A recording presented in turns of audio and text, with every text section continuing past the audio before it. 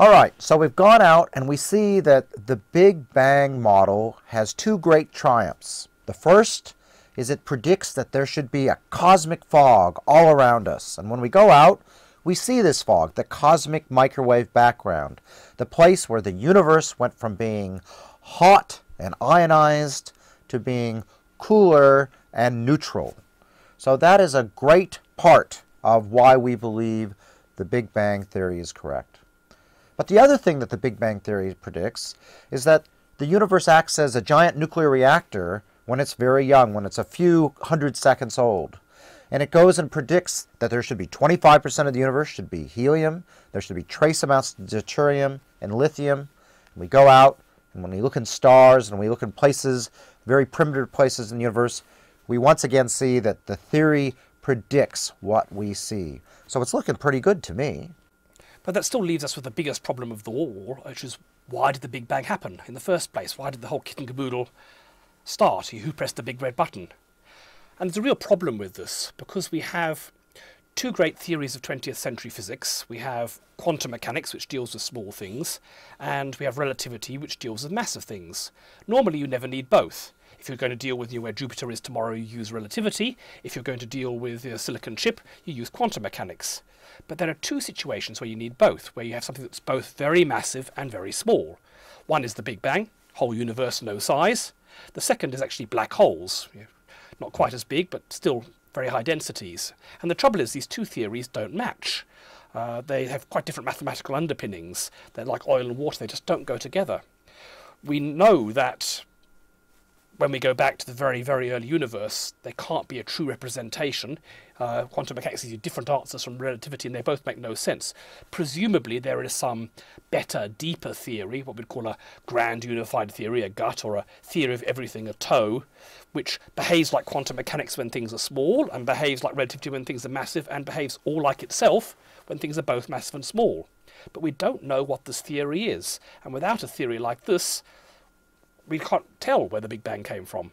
But we can we can go and test, can't we? We can go through and use the Large Hadron Collider and collide together particles with an energy of 10 to the sorry 14 TeV, so that's 14 times 10 to the 12 eV. So that means that's like looking at the universe when it's 10 to the 16 times smaller than it is right now. Or we can even go out and look at uh, these really high energy particles that occasionally hit the Earth. Those are as big as 10 to the 20 eV, or that corresponds when the universe is 10 to the 23 times smaller than it is. Surely we should be able to get something from that. Well, presumably that's giving us a sense of what the universe was like at these very small scales, but of course you can always go further back.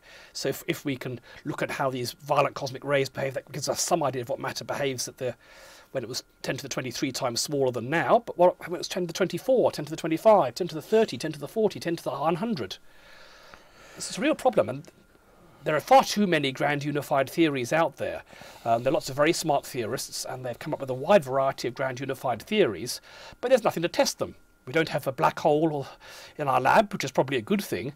Um, so far, the energies we've reached the Large Hadron Collider, the existing theories work fine. We haven't got to that combination of massiveness and smallness where we need a new theory. So it really does come down to sort of a philosophical exercise, doesn't it? Because we can always, at least in the Big Bang Theory, make the universe a bit smaller than what we can measure. And so we really do have this quandary, is how are we ever going to figure out how the Big Bang started? Because we can always push things to a point where our physics that we understand here on Earth breaks. And so I have to admit, to me, um, it's hard to say never say never, but it's hard to imagine how we're ever going to solve how the universe uh, was created. Because even if we do figure out how, you know, what happened at the Big Bang, then what were the conditions that allowed the Big Bang to happen? Clearly something had to be existing. There had to be physical laws, and what allowed those to exist? So it seems to me that it, there at some level is an intractable problem, is you can always take the thing back to whatever created whatever you've just figured out.